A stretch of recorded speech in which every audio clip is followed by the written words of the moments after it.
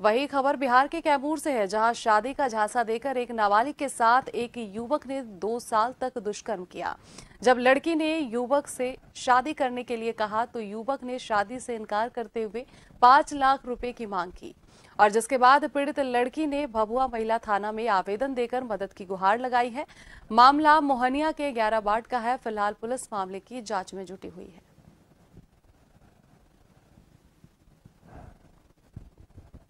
वो क्या आप कर रहा है? मेरे घर के सामने रात रात भर दो दो बजे एक एक बजे रात भर मेरा घर का पहरा दे रहा हमको क्या धमकी दे रहा कि तुम लोग को चार लोग को मुआएँगे? एक तुम गवाही दे रही हो तो तुमको भी हम जान से मारकर जेल हम जा सकते हैं। हो पैसा हमारी लड़की का जब इज़्ज़त से लूट लिया तो हम क्या करेंगे? हम कैसे दें पैसा उसको पैसा लेने लगा उसका इज़्ज़त से आता तो हम उसको भी कुछ ना हम तो नहीं देंगे हम अपनी बच्ची को हमारे बच्ची का नीलाम कर दिया इज़्ज़त। तो हम तो खुद गरीब आदमी अब आप पुलिस से क्या चाहती हैं? हम पुलिस यही चाहते हैं तो हमारे बच्चे को जैसे बदलाव किया, हमारे बच्चे जैसे साथ में शादी